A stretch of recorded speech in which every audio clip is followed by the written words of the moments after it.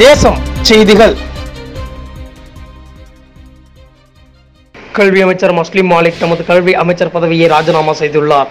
இந்த ராஜினாமா நாளை ஜனவரி மூணு தொடங்கி அமலுக்கு வரும் என்று அறிவித்துள்ளார்.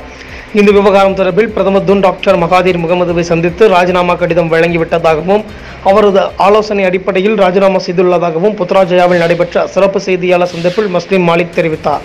Dan disiplin kepada pimpinan parti dan kerajaan maka saya dengan hati yang reda walaupun berat dengan nasihat daripada Yang Amat Berhormat Ayahanda Perdana Menteri saya Mazli Malik dengan ini memulangkan semula jawatan saya sebagai Menteri Pendidikan Malaysia kepada Yang Amat Berhormat Perdana Menteri berkuat kuasa 3 Januari 2020 sekian terima kasih கடந்த இருபது மாதங்கள் கல்வி அமைச்சராக இருந்த தாம் நன்றாகவே பணி செய்து வந்ததாகவும் ஜாவி சத்துணவு திட்டம் போன்றவைகளால் மக்கள் மத்தியில் சர்ச்சைக்குள்ளாகிவிட்டதாகவும் மஸ்லிம் மாலிக் சொன்னார்.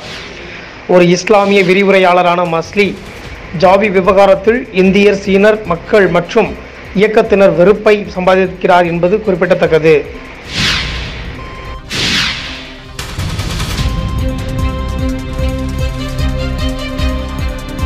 கல்வி அமைச்சில் தேவையில்லாத திட்டங்கள் நிரம்பி வழிகிறது என்று உலக வாணிப தொழில்துறையின் முன்னாள் அமைச்சர் ராபிட அசிஸ் சாடியுள்ளார். ஜாவி போன்ற திட்டங்கள் தமிழ் சீன பள்ளிகளில் அவசியம்தானா? ஜாவியை கட்டாயம் பயில வேண்டும் என்று முஸ்லிம் அல்லாதவர்களை கட்டாயப்படுத்தினால் அதுவே முதல் தோல்வியாகும் என்று கோலாலம்பூரில் நிகழ்வு ஒன்றில் கலந்து கொண்ட பின் செய்தியாளர்களிடம் டத்தோ ஸ்ரீ ராபிடா அசிஸ் அவ்வாறு சொன்னார். கல்வி திட்டங்கள் எத்தனையோ இருக்கின்றன. அவற்றை விட்டுவிட்டு ஜாவி போன்ற தேவையில்லாத முட்டாள்தனமான திட்டங்களை அமலுக்கு கொண்டு வந்து மக்கள் நம்பிக்கை கெடுக்கக்கூடாது என்று டத்தோ ஸ்ரீ ராபிடா ஆசிஸ் மேலும் தெரிவித்தார்.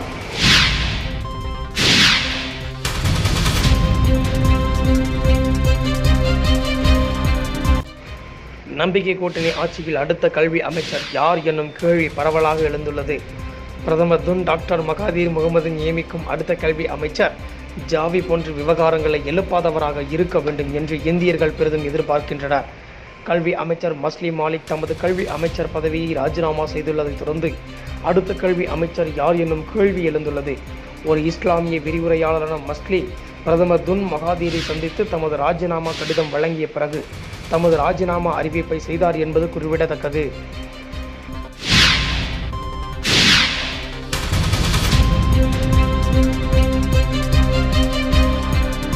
காட் விவகாரம் தொடர்பில் நம்பிக்கை கூட்டணி தலைவர்கள் தான் பொறுப்பேற்க வேண்டும் என்று சலாயாங் நாடாளுமன்ற உறுப்பினர் வில்லியம் லியோங் மலேசியா கினிக்கு எழுதிய கட்டுரையில் குறிப்பிட்டுள்ளார். இந்த காட் விவகாரம் குறித்து தொடக்கத்திலேயே கடுமையாக கருதியிருந்தால் அது விஸ்வரூபம் எடுத்திருக்காது.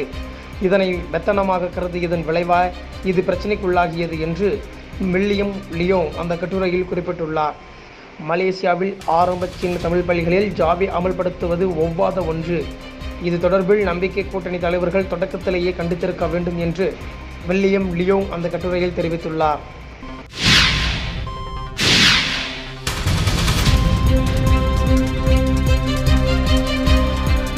அண்மை செய்திகளை உடனுக்குடன் தெரிந்து கொள்ள தேசம் தொலைக்காட்சியை பின்பற்றுங்கள்.